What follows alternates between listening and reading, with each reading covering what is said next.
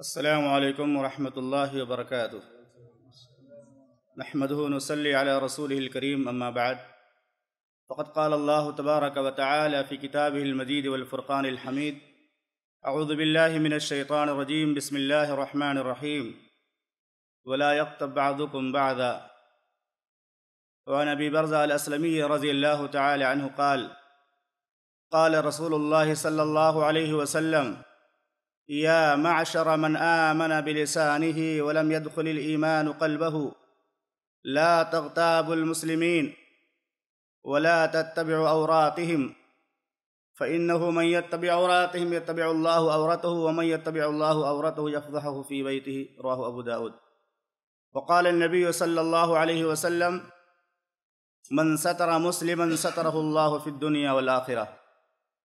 معزز و محترم سامعین اکرام دینی اور اسلامی بھائیوں، آج کے درس کے لیے میں نے ایک حدیث پڑھی ہے، جسے امام احمد نے اپنی کتاب مسند امام احمد میں اور امام ابو داود نے اپنی کتاب سند ابو داود میں روایت کیا ہے اور علامہ البانی رحمہ اللہ نے اس کو صحیح قرار دیا ہے۔ اور ایک آیت کا ٹکڑا تلاوت کیا ہے جو سورہ حجرات میں موجود ہے۔ اللہ رب العالمین کا فرمان ہے، ولا يغتب بعضكم بعضا۔ تم میں سے بعض بعض کی غیبت نہ کرے۔ آیت اور حدیث کو ملانے سے جو موضوع بنتا ہے، وہ ہے غیبت کرنا منافقین کی نشانیوں میں سے ہے۔ ابو برزہ علیہ السلمی رضی اللہ تعالیٰ عنہ راوی حدیث میں بیان کرتے ہیں کہ اللہ کے رسول صلی اللہ علیہ وسلم نے ارشاد فرمایا، یا معشر من آمن بلسانه ولم يدخل الایمان قلبه. اے وہ لوگو، من آمن بلسانه، جو لوگ اپنی زبان سے ایمان لائے ہیں ان لوگوں کو مخاطب کیا، جنہوں نے اپنی زبان سے اسلام اور ایمان کا اقرار کیا کہ ہم ایمان لاتے ہیں، اسلام لاتے ہیں۔ ولم يدخل الایمان قلبه، لیکن ایمان ان کے دلوں میں داخل نہیں ہوا ہے۔ شارین حدیث نے لکھا ہے کہ بعض روایات کے اندر یہ بات بھی موجود ہے۔ کہ اللہ کے نبی صلی اللہ علیہ وسلم کو اس بات کی اطلاع دی گئی کہ کچھ منافقین ایسے ہیں جو مومنوں کی غیبت کرتے ہیں، اہل ایمان کی غیبت کرتے ہیں۔ تو محمد الرسول اللہ صلی اللہ علیہ وسلم ناراض ہو گئے، آپ غصہ ہو گئے اور آپ نے بلند آواز سے منافقین کو مخاطب کیا اور کہا، یا معشر من آمن بلسانه ولم يدخل الایمان قلبه، کہ اے وہ لوگو جنہوں نے اپنی زبان سے اسلام اور ایمان کا اقرار کیا ہے، لیکن ان کے دلوں میں ایمان داخل نہیں ہوا۔ ہے لا تغتاب المسلمین، مسلمانوں کی اور مومنوں کی غیبت نہ کیا کرو۔ ولا تتبع عوراتهم اور ان کے عیوب کے پیچھے مت پڑو۔ کوئی مسلمان ہے، مومن بندہ ہے، تو اس کے عیب کے پیچھے نہ پڑو۔ میت طبی عوراتہم کیونکہ جو کوئی بھی مومنوں اور مسلمانوں کے عیوب کے پیچھے پڑتا ہے، اللہ اس کے عیبوں کے پیچھے پڑ جاتا ہے۔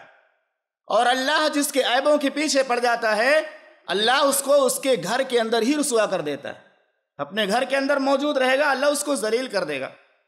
اس حدیث سے یہ بات ثابت ہوتی ہے کہ ہم میں سے کوئی شخص اگر کسی بھائی کے اندر کوئی عیب دیکھتا ہے، کوئی برائی دیکھتا ہے، تو اس کی ذمہ داری ہے کہ اس کو اکیلے میں تنہائی میں نصیحت کرے، سمجھائے۔ اس کی اصلاح کی کوشش کرے، کیونکہ غیبت اسی کو کہا جاتا ہے انکان فیہ ما تقول فقط اغتبتہ کہ ہم جس کی برائی کر رہے ہیں، اس کے اندر وہ برائی موجود ہوتی ہے۔ صحابہ اکرام نے محمد الرسول اللہ صلی اللہ علیہ وسلم سے پوچھا، غیبت کسے کہا جاتا ہے؟ آپ نے فرمایا، تمہارے بھائی کے اندر جو عیب ہے، اس کو تم بیان کرو، اس کی عدم موجودگی میں پیٹ کے پیچھے اس کو غیبت کہا جاتا ہے۔ اگر اس کے اندر عیب ہے تو یہ غیبت کہلاتا ہے اور اگر اس کے اندر وہ برائی نہیں ہے تو بہتان ہے اور یہ بہت بڑا گناہ ہے۔ تو غیبت کہا جاتا ہے کہ کسی انسان کے اندر کوئی برائی ہے اور ہم اس کو بتانے کے بجائے اس کے پیچھے اس کا ذکر کریں اور کہیں فلاں آدمی کے اندر یہ برائی پائی جاتی ہے۔ تو محمد رسول اللہ صلی اللہ علیہ وسلم نے منافقین کو خطاب کر کے سختی سے ڈانٹا اور کہا، تم مومنوں کی غیبت نہ کرو، مسلمانوں کی برائی نہ کرو مسلمانوں کے اندر عیب نہ ٹٹولو، کیونکہ اللہ جس کے عیبوں کے پیچھے پڑ جائے گا، اس کو ذلیل و خوار کر دے گا۔ محمد الرسول اللہ صلی اللہ علیہ وسلم کی یہ سنت تھی۔ آپ کا یہ طریقہ تھا کہ اگر آپ کسی شخص کے اندر کوئی برائی دیکھتے تھے، تو بھرے مجمع میں اس کا نام لے کر اعلان نہیں کرتے تھے۔ کوئی بھی برائی آپ دیکھتے، تو آپ یہ نہیں کہتے ماں بولا ماں بال فلال یقول کذا کہ فلاں شخص کو کیا ہو گیا ہے، وہ ایسا ویسا کرتا ہے۔ بلکہ آپ کیا کہتے ماں بال اقوام یفعلون یصنعون کذا لوگوں کو کیا ہو گیا ہے؟ کسی ایک آدمی کے اندر کوئی برائی دیکھتے تو اس کا نام ذکر نہیں کرتے، بلکہ کہتے لوگوں کو کیا ہو گیا ہے؟ لوگوں کے اندر ایسی ایسی بات پائی جاتی ہے۔ سنن ابو داؤد کے اندر ایک دوسری روایت موجود ہے، جس کے اندر اس بات کا تذکرہ ملتا ہے کہ محمد الرسول اللہ صلی اللہ علیہ وسلم نے کسی شخص کو کھلے میدان میں بلا اظہار کے غسل کرتے ہوئے دیکھا۔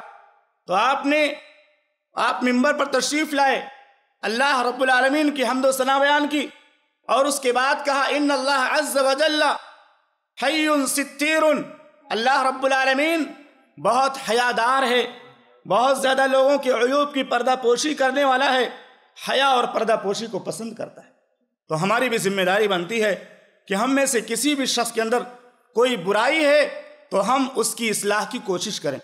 تنہائی میں اس کو سمجھائیں، اس سے برائی ختم ہو جائے گی اور اس سے بھائی کی اصلاح بھی ہو جائے گی۔ اور اس کی کتنی بڑی فضیلت ہے کہ اگر ہم کسی کے عیب پر پردہ ڈالتے ہیں، کسی کی برائی کو چھپاتے ہیں تاکہ آدمی اصلاح کر لے، اپنی برائی سے باز آ جائے، کتنا بڑا ثواب ہے، کتنا بڑا اجر ہے۔ محمد الرسول اللہ صلی اللہ علیہ وسلم نے فرمایا، صحیح بخاری و مسلم کی روایت میں، من ستر مسلمن سترہ اللہ فی الدنیا والآخرہ جو کسی مسلمان کے عیب پر پردہ ڈالے گا، اللہ تعالیٰ دنیا اور آخرت میں اس کے عیبوں پر پردہ ڈالے گا۔ تو ہم کو بھی سوچنا چاہیے کہ اگر ہم کسی کو ذلیل کرتے ہیں تو کل ہم بھی ذلیل ہو جائیں گے۔ اور اگر ہم کسی کے عیب پر پردہ ڈال کر اس کی اصلاح کرنے کی کوشش کرتے ہیں تو اللہ تعالیٰ ہمارے عیبوں پر بھی پردہ ڈالے گا۔ اور ایک دوسری روایت میں محمد الرسول اللہ صلی اللہ علیہ وسلم نے فرمایا، ایک مومن اپنے مومن بھائی کے لیے آئینے کی طرح ہوتا ہے۔ جیسے آئینہ آپ کا عیب صرف آپ ہی کو بتاتا ہے دوسرے کو نہیں بتاتا۔ ایسے بندے مومن، اگر اپنے کسی بھائی کے اندر کوئی عیب دیکھتا ہے، تو اس کی اصلاح کے لیے صرف اسی کو بتاتا ہے، دوسرے کو نہیں بتاتا۔ اگر کوئی آدمی کوئی گناہ کرتا ہے، کوئی غلطی کرتا ہے، اور ہم اس کو بتائے بغیر، اس کو سمجھائے بغیر، اس کے پیٹ پیچھے غیبت کرنا شروع کر دیں، اور ہر جگہ اس کے گناہ کا اعلان کر دیں، تو پھر اس کے توبہ کا راستہ بند ہو جاتا ہے۔ انسان کیا سوچتا ہے؟ میں تو ذلیل ہو ہی گیا۔ مجھے لوگ برا سمجھتے ہیں، اب توبہ کرنے سے کیا فائدہ؟